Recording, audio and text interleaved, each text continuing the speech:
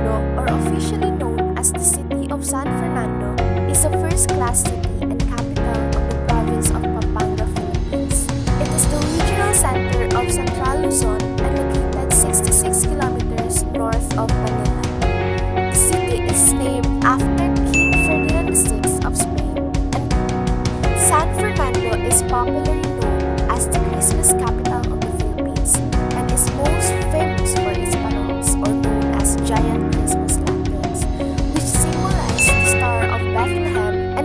Rise up to 20 feet in the air. Only about 10 giant paroles